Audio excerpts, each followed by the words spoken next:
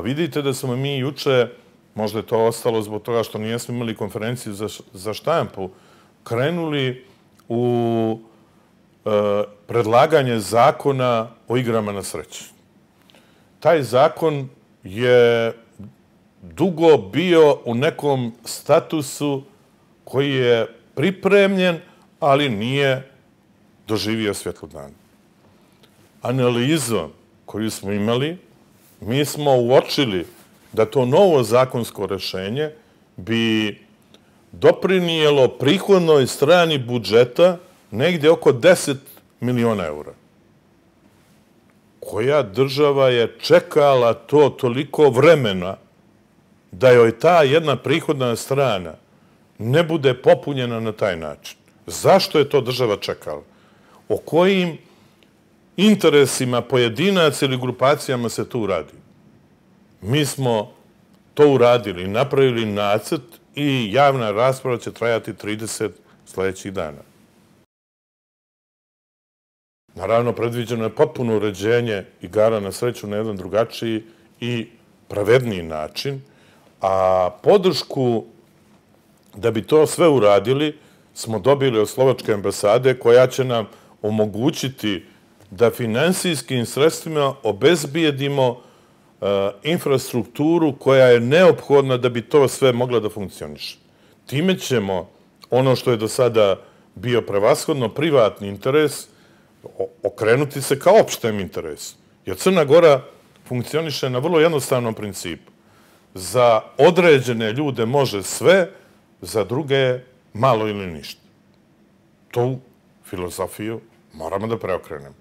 Bez obzira kome se to sviđa ili ne sviđa i ko kakav ima uticaj direktni ili indirektni u Crnoj Gori.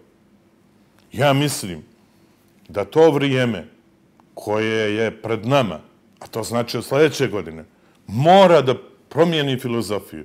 Filozofija mora da bude filozofija dijeljenja za sve.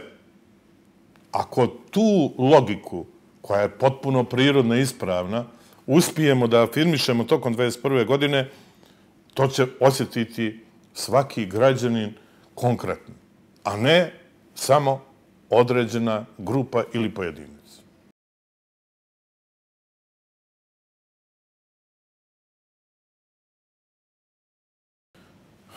I autoput je jedan od problema sa kojim smo se susreli. Mi smo samo prihvatili informaciju, u stvari upoznati sa tom informacijom, a ta informacija u suštini e, glasi da je nemoguće završiti autoput do septembra sljedeće godine. Znači, to je ponovno probijanje roka.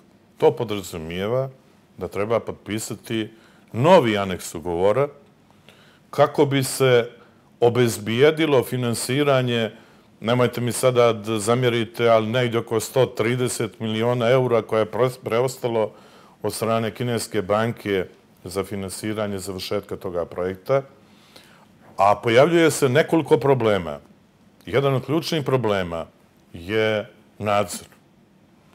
Taj nadzor koji u suštini radi jedna francuska e, firma je e, takav, takvog karaktera da je njihovo vrijeme isteklo, ali pošto u ugovoru je definisano i precizirano do završetka radova, tu imate jedan pravni e, problem. Ugovor je istekao, a radovi nijesu završeni. I e, taj postupak je pred privrednim sudom.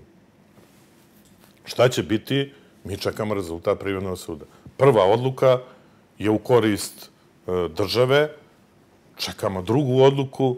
Ako se desi da taj nadzor nastavi da radi, zar vi mislite da će da on radi sa istim kapacitetom i istim karakteristikama kao do sada? To je prosto nemoguće. Ko je pravio ugovor da nekoga šteti, a da nekome doprinosi, ja to ne znam. To ćemo da preispitamo. Dalje, e, samo probijanje roka je problematično. Zašto je problematično? Pa pandemija nije trajala čitavu godinu. Pandemija je trajala, ako pošteno to gledamo, četiri mjesec. To ne može da bude opravdan i objektivan razlog za produžetak radova.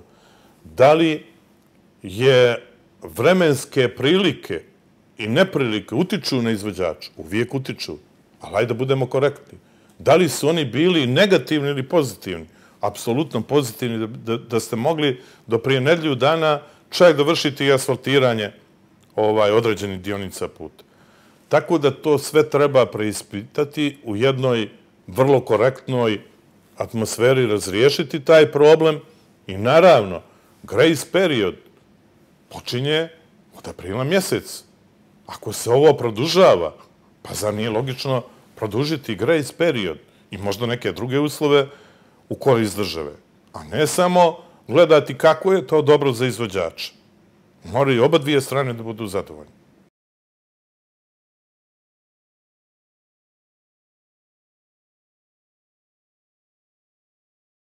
Pa vidite, mi smo projekcijom obveznica imali jednu računicu da ćemo da sa 200 miliona pokrenemo mnoge razvojne projekte. To je bila naša namjera. E to govori onome, onoj optužbi koja je bila vrlo nekorektna e, prvog dana mog izlaganja ekspoze. Kako ja se ne razumijem u činjenice, kako ja ne znam gdje su podaci, kako i tako dalje. Mi dan danas otkrivamo dubioze i smanjujemo ovih 200 miliona i trenutno je to došlo negdje na 100 miliona. E sad, zamislite da smo ušli u tu priču činjenica koju je neko vjerovatno želio, da nam pokažu kako smo nedosledni, neprincipijelni, ne umijemo da znamo šta su činjenice da sa njima baratamo.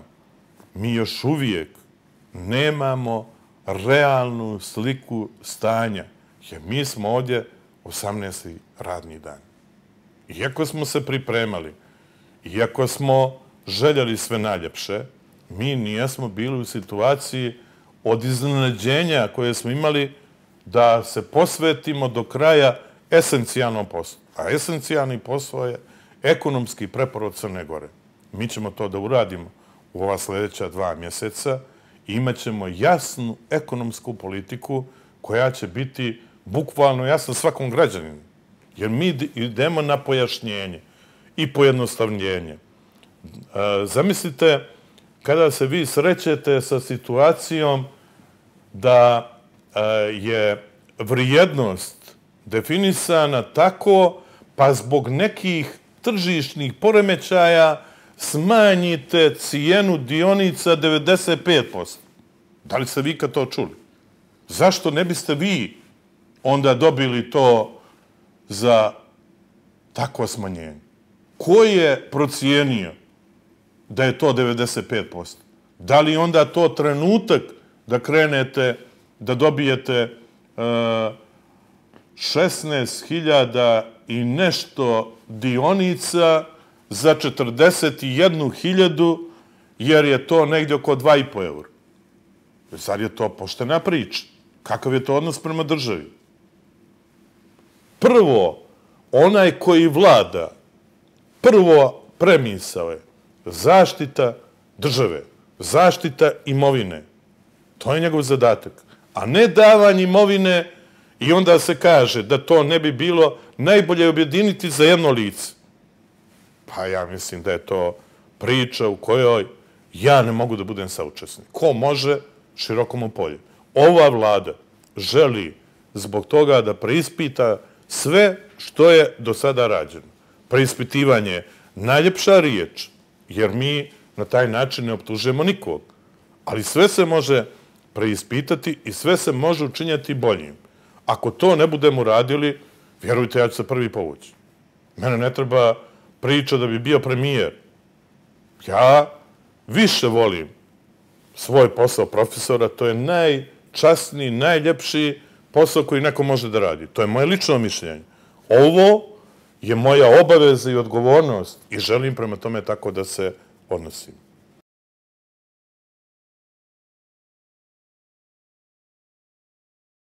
E, upravo mi u okviru e, ministarstva ekonomskog razvoja planiramo niz aktivnosti koje su usmjerene e, ka investicijama. Naša osnovna karakteristika je orijentisanost na znanje i izdizanje nivoa znanja i kompetencije. I zato smo neslučajno u dijelu ovaj, e, ekspozea rekli da ćemo pokušati da obezbijedimo 500 e, novih inoviranih pristupa i već radimo na tome da e, ljude iz IT E, sektora, znači one koji su završili ili bachelor ili specijalistički ili master, a nijesu uspjeli da se afirmišu i dokažu da ih dovoljno obučimo da budu ili orijentisani na svoj zadatak, odnosno svoj biznis, ili da krenu u biznise koje već postoje ili za neke svjetske kuće koje je to neophodno.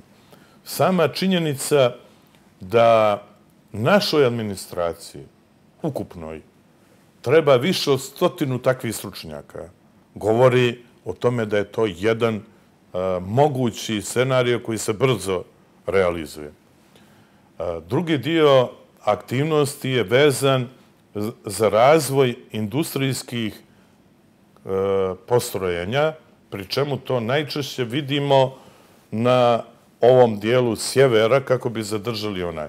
Vi znate da smo mi proklamovali taj jedan vrlo interesantan naziv humana dualna ekonomija, da recimo ako imate pet nekih poljoprivrednih domaćinstvama, date im još neki element koji je vezan za neku malu proizvodnju, kako bi na taj način to mogli da sinhronizujemo i dobijemo veću dodatnu vrijednost. Veliko ulaganje će sigurno i dalje biti u okviru poljoprivrede, šumarstva e, i vodoprivrede i e, imamo dvije vrlo interesantne ideje koje bi trebale brzo da budu realizovane.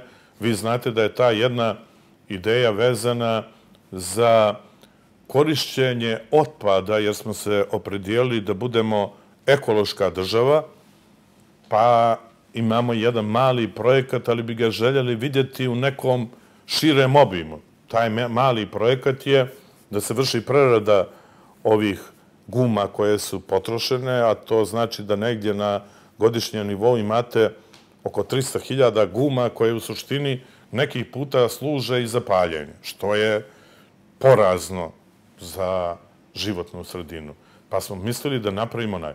Posle toga se pojavila ideja da to može čak da se ukrupni ne samo za gume, nego i za drugu otpad. I sad razmišljamo, imamo jednog investitora koji se nudi da to ovaj sve tretira na najbolji mogući način. Tu ideju preispitujemo. Ovo je naša ideja koju možemo vrlo brzo realizovati.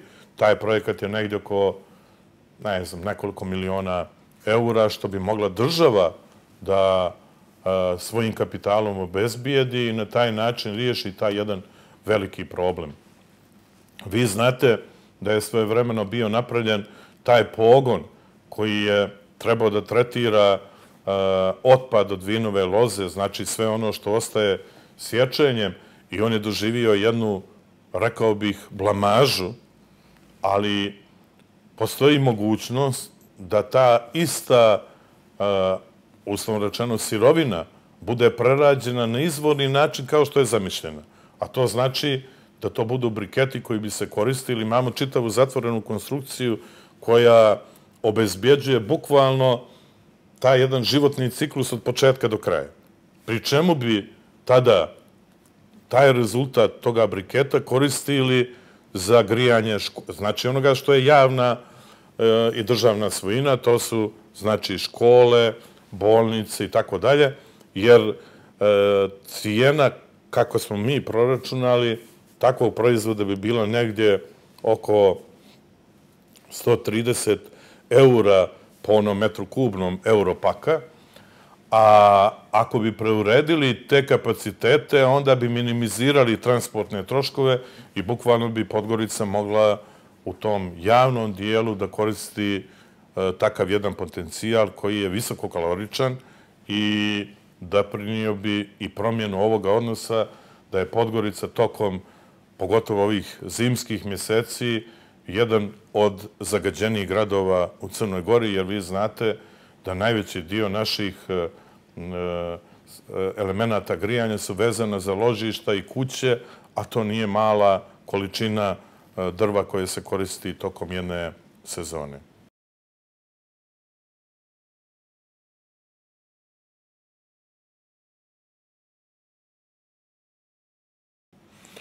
Pa kada bih to rekao klasičnim jezikom, ja bih rekao ne ponovilo se. I mislim da se nikad neće ponoviti na ovakav način i sa ovakvim posljedicama. Jer ako, ako ubijete ekonomsko tkivo jedne države bez obzira na pandemiju, onda to se tako lako i brzo ne može oporaviti. Vi znate da su procjene, i to nemamo čak tačan podatak, da je 20.000 ljudi u ovakvom sistemu gdje nemamo tačnu evidenciju nezaposlenosti.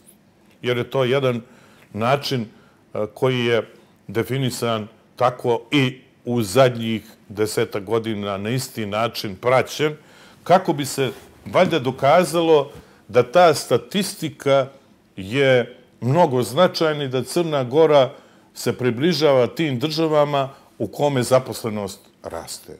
Ja mislim da jedino što je siguran posao u Crnoj Gori je ovaj posao u državnoj administraciji. Sve drugo je vrlo problematično. Mi zato imamo namjeru da promijenim ekonomsku politiku u tom dijelu i tu će biti nekoliko posticaja. Jedan koji je namijenjen isključivo i samo finansijski i drugi koji se odnosi i pripada tom domenu nefinansijskog ovaj, nefinansijske podrške u smislu stvaranja dobrog ambijenta.